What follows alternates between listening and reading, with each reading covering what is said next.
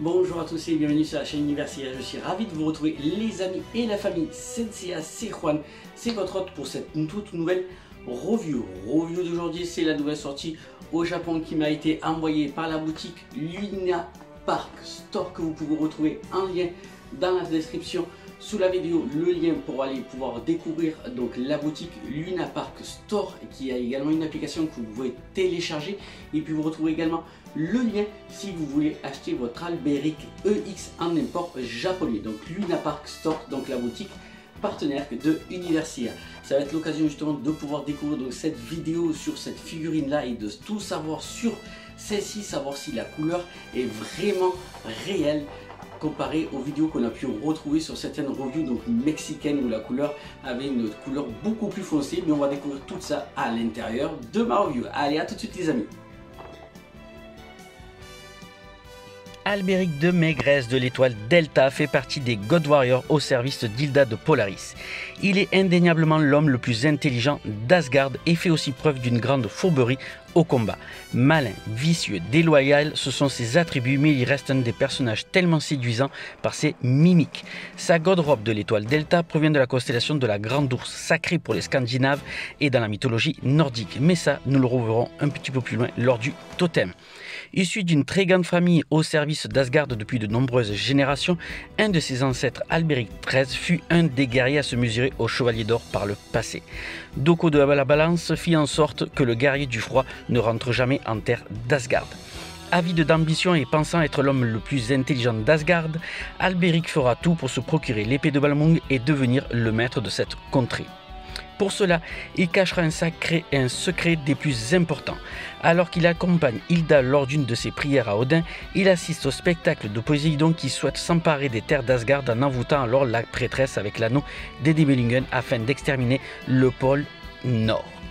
Devenant le guerrier divin de Delta, il fera tout pour récupérer les saphirs d'Odin, déjà recueillis par les guerriers d'Athéna. Il lui manquera alors les dernières pierres précieuses pour libérer l'épée de Balmung et devenir le leader d'Asgard.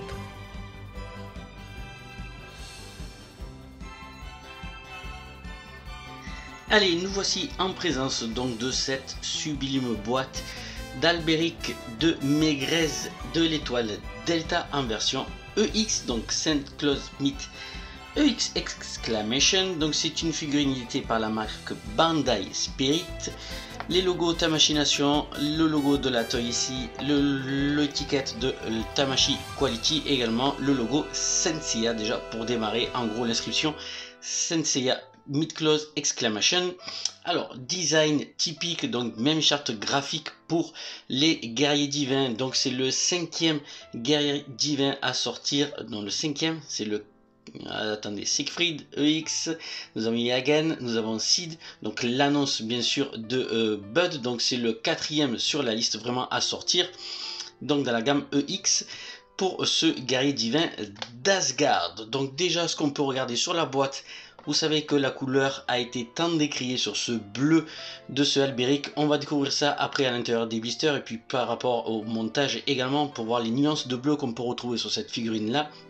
Même charte graphique, alors on retrouve les quatre donc anneau de sur les quatre coins donc de la boîte, l'inscription Saint Claus Myth EX en haut, de Maigrez Alberic bien sûr, encore effacé par le personnage donc qui mange un petit peu le nom de la figurine et du personnage bien sûr, une représentation du totem un petit peu euh, euh, symbolique on va dire avec ses effets comme on pouvait également retrouver sur le Hagen, sur le Zeta de, de Sid également et de Siegfried également.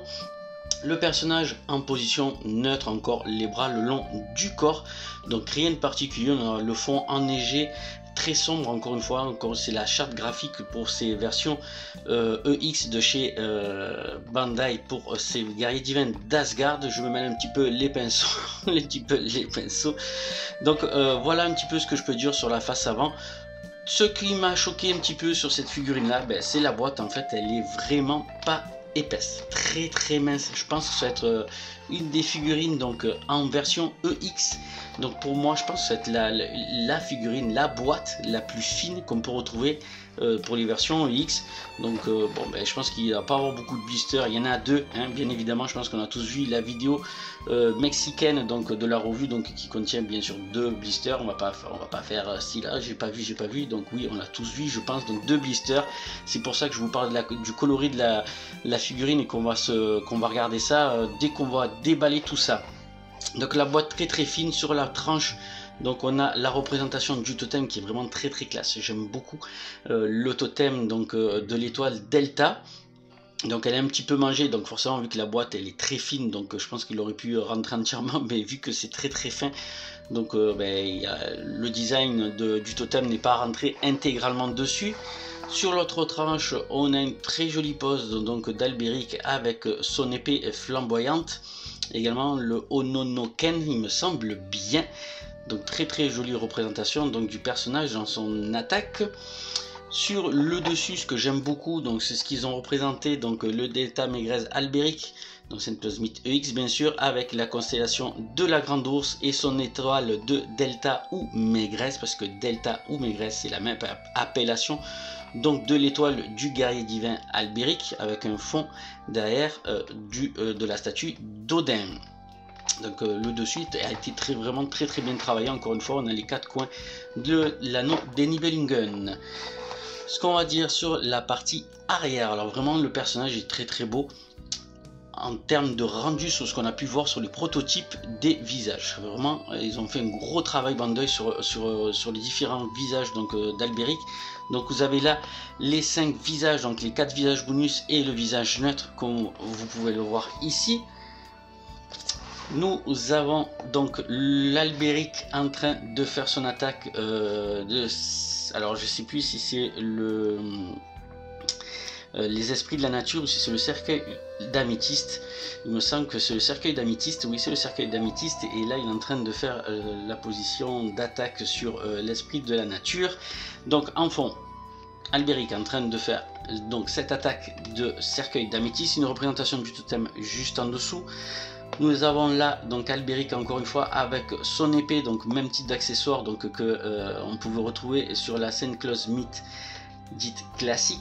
L'effet euh, euh, flamboyant donc sur son épée également qu'on pouvait retrouver.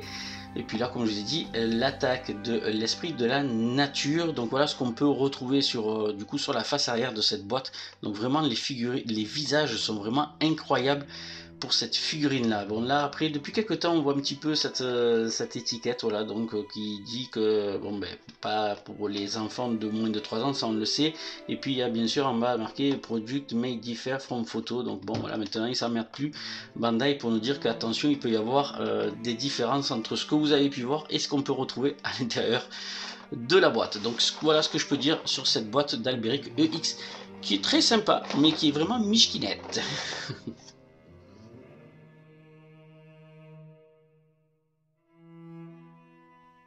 Alors, pour les blisters, donc deux blisters pour le contenu complet donc de la figurine. On va regarder ça un peu plus en détail. Je vais retirer celui-ci. Alors déjà, ce que je peux vous dire, c'est que déjà j'ai un éclairage assez flash blanc. Et pourtant, le rendu que moi je vois et celui que vous, vous voyez n'est pas forcément le même. Vous, vous le voyez un petit peu plus foncé que moi je le vois, alors que pourtant j'ai un éclairage très très blanc. Je pense que euh, ça y fait les jeux de lumière ainsi que les ombrages sur la figurine. Donc déjà ce que je peux vous dire c'est que la figurine a vraiment une teinte turquoise comme sur la boîte. Elle a même ces petits reflets un tout petit peu verdâtres, c'est un petit peu léger. Mais très sincèrement déjà première vue de ce que je me souviens puisque la Mythlos classique, donc il me semble qu'elle avait été éditée en 2009, euh, donc elle reprend quasiment la même teinte que cette version là de mémoire. Donc je pense que euh, le collègue Mitriter a dû vous faire l'analyse j'ai pas vu sa vidéo pour pas qu'elle puisse m'influencer bien sûr. Mais il vous le dira je pense un petit peu mieux donc à l'intérieur de, sa review. Mais moi de ce que je peux me rappeler donc on est vraiment pas loin de la version classique donc de ce Albéric euh, guerrier divin donc pour cette version X donc n'ayez pas peur donc la vidéo donc euh, mexicaine donc nous vous a vraiment induit en erreur. On a vraiment une très très belle teinte de couleur pour cette figurine là. Alors qu'est-ce qu'on va retrouver? Bien sûr le personnage ici, donc c'est une core version EX, donc je pense comme les, euh, on a pu avoir nos, chevaliers de bronze donc en, en EX, donc puisqu'il faut savoir que la figurine est euh, donc albérique, donc ils ont assez bien recopié la taille du personnage puisque c'est le plus petit des guerriers divins, donc pour pas avoir le corps EX avec le corset, puisque bien sûr celui-ci n'a pas de corset, donc ils ont repris le corps d'un chevalier euh, de bronze qui était déjà sorti en version EX. Ensuite, qu'est-ce que vous allez retrouver La partie pectorale, les épaulettes, vous avez le casque là, la mèche à mettre euh, avec le diadème, le diadème pardon. vous avez les cuissardes, les genouillères, vous avez les avant-bras, vous avez les jambières, la ceinture, quatre paires de protège-gants et puis vous avez une, deux, trois, quatre, quatre paires de mains plus la main Bodus qui pointe du doigt pour faire l'attaque des esprits de la nature. Donc 7, donc blister plutôt bien chargé pour, euh, pour, euh, pour ce blister là. Donc on va retrouver vraiment tous les éléments d'armure d'Albéric. Et puis le deuxième blister où nous allons retrouver donc tous les éléments pour faire donc le porte-armure ou le totem comme j'aime si bien le dire. Les améthystes ici pour mettre en fond derrière sur le porte-armure. Nous avons là donc le corps entre guillemets, vous verrez après dans la review, donc du coup euh, la partie mythologie sur euh, Albéric et son étoile également. Vous avez là son épée, donc sans l'effet flamboyant que vous pouvez retrouver ici sur le côté. Donc on a vraiment les accessoires qu'on pouvait retrouver sur la version classique, mis à part qu'on n'a pas le saphir d'Odin, ainsi que la pastille et le, petit support de saphir qui ne sont pas intégrés donc dans le blister. Et puis vous avez les quatre visages qui sont vraiment super bien réalisé. Et très sincèrement, on va voir ça un peu plus en détail, mais très sincèrement, les visages sont vraiment incroyables de ce Albéric. Allez, on va regarder ça un peu plus en détail, et puis je vous montrer également la notice. La notice donc d'Albéric, bien sûr, avec tous les éléments nécessaires afin de monter le personnage dans l'ordre ainsi que pour monter le totem. C'est assez instructif toujours de pouvoir montrer nous dans les reviews les notices tout simplement parce que ceux qui nécessitent le besoin, qui ont perdu, qui achètent les figurines en loose sans les boîtes, je vous parle maintenant parce que la figurine vient de sortir, mais on va dire dans 5 ans, 6 ans ou 10 ans, ceux qui auront peut-être jeté les boîtes ou quoi que ce soit. Donc c'est très important de montrer, euh, qu'on puisse montrer les notices puisque ça peut servir justement à ces personnes-là de faire arrêt sur image ainsi que de retrouver donc le montage de la figurine, certaines pièces ou ainsi que pour monter le totem parce que des fois c'est vraiment galère à monter donc très important qu'on puisse vous faire découvrir bien sûr les notices des persos. Donc le corps, le montage du totem également, bon, une figurine assez basique. Alors là je vais m'arrêter tout simplement sur le fait de bien regarder un truc, on va quand même regarder bien quelque chose, ce sont les cuissardes. Donc euh, je pense qu'il va pas falloir se tromper sur le montage des cuissardes pour avoir le meilleur rendu et le bon rendu de la figurine. Donc juste l'aparté à regarder dans le blister donc déjà, le, dans le blister, elles sont déjà montées dans le bon sens. Je crois bien.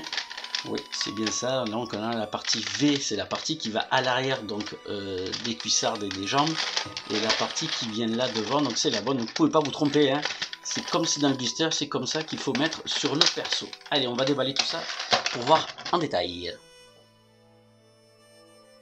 Gros plan donc sur les différentes parties, pièces d'armure ainsi que figurines, visages et paires de mains. Que disposent donc les différents blisters de cette figurine d'Alberic EX.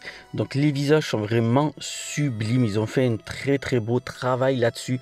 Donc avec les différentes expressions qu'on peut retrouver sur le personnage, on le reconnaît bien. ces, visages un petit peu malins, vicieux, fourbes, avec ce petit visage euh, avec sourire en coin. Donc c'est celui que j'utiliserai bien sûr euh, pour ma pose finale.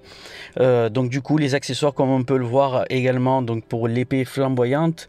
Le personnage, donc le gros blister, donc qui est assez chargé pour le premier blister principal. On va retrouver le perso ainsi que les quatre paires de mains et la main qui pointe vers le haut afin de faire euh, sa technique d'attaque. Donc regardez un petit peu là en termes de couleur.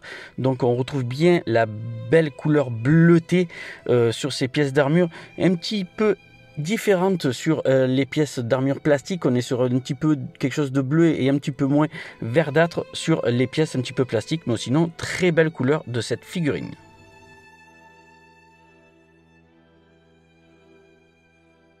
Le porte-armure de l'étoile Delta est très énigmatique.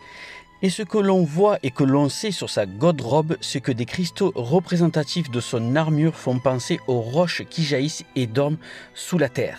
Des cristaux que l'on peut retrouver dans les grottes, cavernes comme cette grotte qui cachait le trésor d'Albéric et les crânes sous ces roches représentant les valeureux guerriers qui ont péri au cours de leur parcours face au dragon Fefnir, gardien de la grotte et du trésor.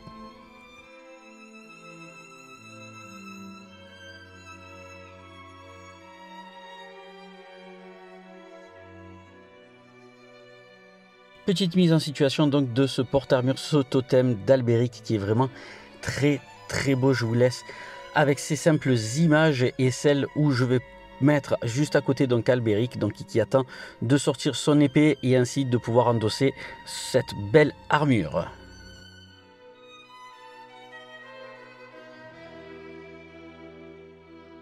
Allez, on a le personnage ici, je vais juste monter les deux paires de mains comme vous avez pu le voir pour faire la photo avec son totem. On va juste regarder ensemble la rigidité donc, de la figurine. Donc en termes de rigidité au niveau des jambes, on est plutôt bon. Les bras aussi. Bon, la tête, hein, rien à redire, si ce n'est que le visage est vraiment les visages sont vraiment magnifiques. Sur ce Albiric, il est vraiment très très beau, très très classe. Comme vous pouvez le voir. Allez, on va attaquer le montage de la figurine en avance rapide, bien sûr, comme j'ai l'habitude de faire.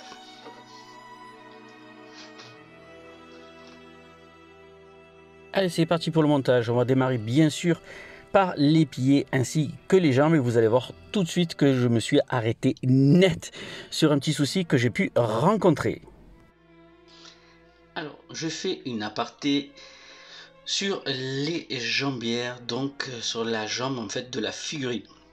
Alors comme je peux vous le dire sur l'avance rapide juste avant, donc la cuissarde, donc la partie plate, le parti du trait se met bien devant. La partie pointue se met à l'arrière. Alors beaucoup de photos ont circulé donc sur la figurine donc en version officielle donc ce qu'on a pu voir donc sur le salon de Tamashi bien sûr c'était cette représentation là c'est à dire que la cuissarde était jusqu'en haut et la genouillère était presque par dessus la cuissarde comme vous pouvez le voir. En réalité donc pour avoir un beau rendu donc de la figurine je, je comprends pas c'est qu'il faudrait que ça soit comme ça à fleur la cuissarde à fleur de la genouillère. Mais je viens de me rendre compte, tiens, c'est vraiment bizarre. Alors je sais pas si c'est un défaut de ma figurine ou de, ma pièce d'armure, mais voilà, il y a du jeu entre la cuissarde et, euh, la cuisse, là comme vous pouvez le voir. Donc ça doit être vraiment à fleur. Mais si on le pose comme ça, si on le laisse tomber, ben ça fait moche puisqu'en fait on est encore beaucoup plus bas. Donc euh, ça lui fait une cuissarde, une cuisse assez fine je, comprends pas. Je vais, je vais monter euh, mon, autre, mon autre cuissarde juste pour voir comment ça se passe. Voyons voir, tourniquet.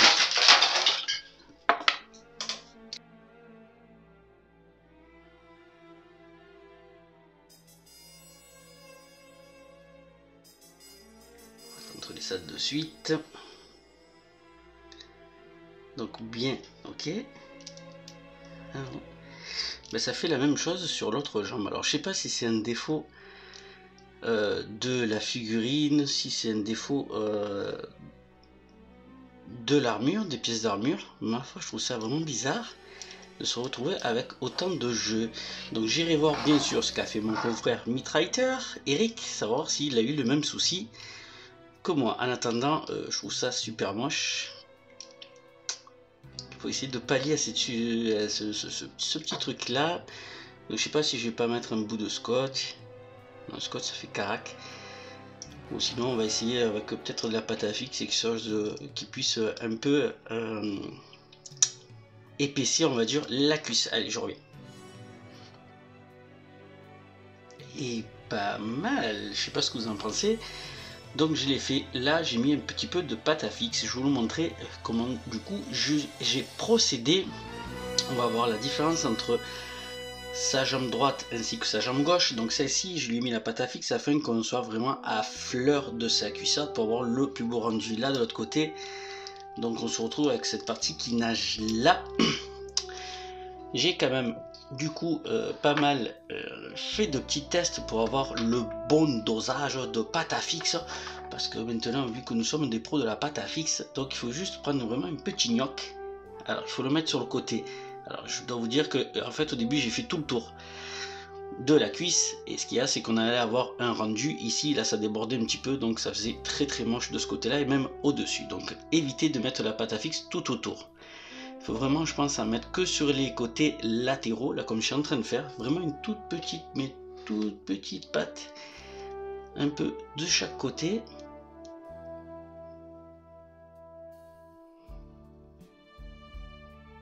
Voilà. Juste voilà, un petit, un petit gnoc. On met la cuissarde, bien sûr, dans le bon sens. On remonte, tac. Pas trop pour s'il faut justement après par la suite l'abaisser pour l'aligner par rapport à la genouillère. Donc on enquille, tac, tac, tac. Voilà, juste le descendre un tout petit peu. Voilà. Je lui mets le pied, comme ça il n'y a plus rien qui tombe. Tac. Et voilà. Donc là, je suis aligné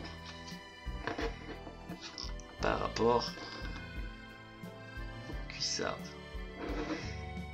Donc voilà, je pense que... Alors je sais pas, encore une fois, si c'est un défaut de ma figurine ou si c'est un défaut euh, ben, de, toutes les, tous les éléments de l'armure, ça m'étonnerait très fortement, très sincèrement, que ben, qu'on se retrouve avec ce genre de fait. Franchement, ça serait vraiment une grosse erreur de la part de Bandai de se retrouver avec tout ce même défaut. Je comprendrais pas forcément. Alors pourquoi on voit certains visuels où le, bon, c'est photoshopé, on va dire, hein, bien sûr, entre ces pour avoir le meilleur rendu possible sur ce Albéric. Alors pourquoi euh, on voit ça sur les photos alors que ben, réellement dans les boîtes on, se retrouve avec ben, ce problème là Je pense que déjà, j'ai mis de la pâte à fixe, je pense que euh, la figurine va avoir un lycra que j'ai commandé chez Myth Creature également, donc je pense que ce là il va être compensé par par le lycra. Donc euh, je pense qu'on ne retrouvera pas ce souci là si on lui met un petit lycra. Allez, je continue le montage de la figurine en avance rapide. J'espère qu'il n'y aura pas d'autres problèmes sur cette figurine là. Faites-moi un retour, mais quoi qu'il en soit, je pense qu'à la fin de la vidéo, quand je la posterai, vais voir celle d'Eric pour savoir s'il a eu ce souci-là. Mais si vous, de votre côté, vous avez eu le même problème, donc n'hésitez pas à le mettre en commentaire de la vidéo. Allez, on va continuer le montage donc par la pose de la ceinture. Donc ceinture qui très honnêtement encore une fois les attaches des pans latéraux donc sont vraiment très très moches. Hein. Franchement c'est exagéré d'avoir de très très grosses attaches pour, de, pour fixer ces pans. Donc c'est un petit peu disgracieux euh, du coup euh, ben, lorsqu'on veut faire une jolie pose avec la figurine. Donc je trouve ça vraiment dommage encore une fois d'avoir euh, ben, gâché un petit peu la partie esthétique avec ces grosses attaches pour ces pans de la ceinture. Donc pour moi ça sera vraiment un petit point négatif ça, ne va pas enlever le beau rendu donc de la figurine, mais tout simplement, ben, c'est un petit peu dommage. Le plastron également, ben, pour moi, je le trouve trop bombé, fait trop féminin, et puis surtout, regardez ce jeu ce jour qu'on peut retrouver entre donc la partie ceinture et la partie plastron. Donc c'est un petit peu dommage de ce côté là Ensuite les épaulettes, donc ne pas vous tromper, donc la partie la plus épaisse donc va devant et la partie la plus fine va donc du coup derrière. Je reviendrai bien sûr sur cette partie du plastron dans un petit comparatif, mais c'est vraiment dommage d'avoir ce jour. J'ai l'impression de, de, me retrouver avec le Shun EX de chez Great Toys où euh, ben, ça faisait vraiment pas très très joli selon les poses qu'on va faire de ce Albéric d'avoir ce jour entre donc du coup la partie euh, abdominale ainsi que la partie de la ceinture. sinon tout le reste va se monter vraiment ben, assez facilement. Encore une fois on est sur du Bandai donc de ce côté là il n'y a pas de souci. Le rendu est vraiment très très beau. Regardez moi ça pour la partie esthétique de cette figurine. Pour le casque, les mèches, ne le démontez pas, même si c'est fixé, ne vous embêtez pas à euh, démonter quoi que ce soit. Vous avez juste enquillé sur le côté, donc du coup la mèche, les mèches de devant, et ensuite vous avez juste emboîté bien le casque à l'intérieur. Et puis voilà, le tour est joué.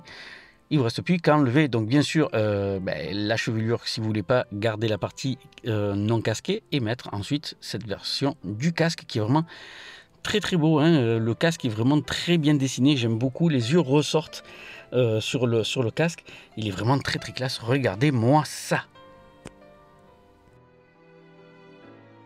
Je vais vous faire un petit comparatif entre cette figurine d'Alberic EX face à sa version dessin animé en passant par le haut. Donc vous pouvez voir vraiment que le dessin sur le casque donc de cette figurine donc d'Alberic EX a été très très bien dessiné face au dessin animé. Donc le dessin du visage ainsi que les mèches avant chevelure donc euh, sont assez bien représentatives. Les épaulettes, on va descendre un tout petit peu. Vous pouvez noter également qu'elles sont bien dessinées. Également, on retrouve bien donc le personnage d'Alberic sur la version EX ainsi que sur la version dessin animé. Là où ça me pose problème, c'est sur la partie du plastron. La partie du plastron, pour moi, sur cette figurine EX est beaucoup trop bombée. Elle fait trop féminine. C'est un petit peu dommage justement d'avoir ce rendu que sur la version classique on avait vraiment un plastron plat alors que là on se retrouve avec une partie bombée. Le jour encore une fois comme vous pouvez voir entre la partie de la ceinture donc c'est un petit peu dommage. La ceinture le saphir également il n'y a rien à redire sauf si ce n'est qu'on aurait bien voulu que le saphir puisse ressortir un petit peu plus de la partie affixée sur la ceinture les cuissardes, on retrouve bien les mêmes cuissardes. Encore une fois, il faut s'amuser avec la pâte fixe pour avoir le même rendu que sur la partie du dessin animé. Comme vous pouvez voir, ajuster donc la cuissarde avec la pâte à fixe pour avoir le bon rendu avec la genouillère. Ou sinon, au niveau des jambes, les jambes sont très correctes, sont bien redessinées également pour cette version EX. Autre petit point que je voulais apporter, certains disaient que les trois mages qui ressortent du casque donc n'étaient pas forcément fidèles au personnage. Et pourtant, on voit le personnage avec cette chevelure là, ces mèches qui ressortent dans de nombreux passages des différents épisodes. On peut retrouver donc Albéric dans le dessin animé. Je vous laisse en compagnie du posing.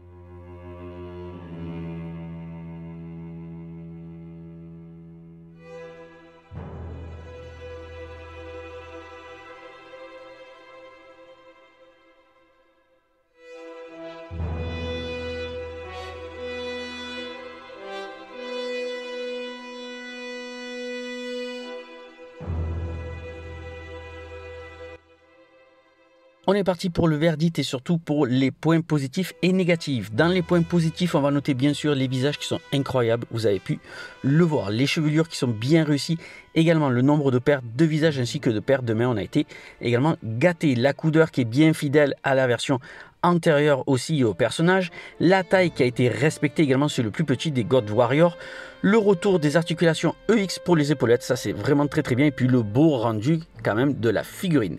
Dans les points négatifs, eh ben, le plastron que je trouve trop bombé, ça fait trop féminin. Problème de cuissarde qu'il faut bricoler, comme vous avez pu voir, il va falloir que vous mettiez un petit peu de pâte à fixe. Les attaches de la ceinture qui sont vraiment trop visibles également les pans de la ceinture qui limitent un tout petit peu ainsi euh, les mouvements euh, du personnage lorsque vous voulez faire du posing. Et puis ce jour entre la ceinture et la pointe du plastron que je trouve vraiment disgracieux selon comment on fait le posing. Donc on verra le, un petit peu le body au niveau des abdos. Donc ça ce sont pour les points négatifs et positifs de cette figurine pour la note de ce Alberic EX, je vais lui donner un 8,5 sur 10. Le temps que ça s'affiche, bien sûr. Donc vraiment très beau rendu. Il est vraiment très très beau. Moi j'aime surtout cette partie haute au niveau des épaulettes jusqu'au visage avec le casque. C'est ce qui m'a le plus plu dans cette figurine. C'est ce qui est vraiment presque le plus réussi pour moi, j'aime pas beaucoup cette partie du plastron, j'aime pas beaucoup ce jour entre la partie du plastron ainsi que la ceinture comme vous avez pu le voir. Il a fallu bricoler un tout petit peu, ça aussi c'est un petit peu dommage de ce côté-là. Ou sinon c'est un très très beau rendu. Je trouve qu'il est quand même mieux fait que Site de Mizar pour lequel j'avais pas apprécié non plus le casque, la couleur également, qui, la liberté qu'avait pris Bandai pour faire la couleur du personnage également.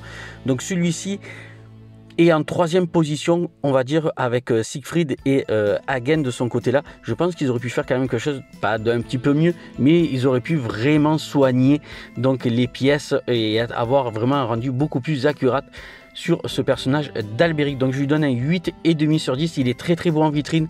Ne vous en faites pas, c'est pas parce que je dis ça qu'il est vraiment moche. Il est très très beau, mais quand même ils auraient pu faire quelque chose de beaucoup mieux.